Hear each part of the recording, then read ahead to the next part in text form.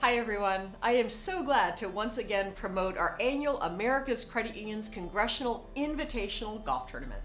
This is a really special tradition where we get so many credit union folks together with members of Congress and congressional staff right here in Washington. Know, I agree, Gigi. This is a fun event and it's a fantastic event. And I've had a chance to play in this now as CUNA president, but also when I was a member of Congress. And I always thought it was a unique opportunity for us to get outside the stuffy environment of, of Washington, D.C. and Capitol Hill into the sunshine and talk a little bit about the credit union difference in an environment that makes it a lot more fun and it's great to be outside. And in addition to that, this Best Ball Scramble, all, all the proceeds benefit the National Credit Union Foundation. So why would you want to spend that day outside with us? Right.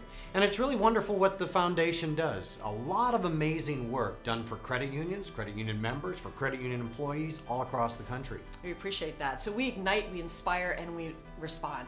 We ignite folks to really focus on member financial health. We inspire them to make sure they leverage their cooperative values, and then when disaster strikes, we're right there to respond. So I hope you'll join us. I think this is a wonderful annual event, one that you can get a lot, a lot out of and uh, be part of. And so I hope you'll join us together with credit union partners across the country. And uh, I also know that the donations that come in as part of this tournament will make a big difference to the future work of the foundation. So be there. Be there. I'm all right.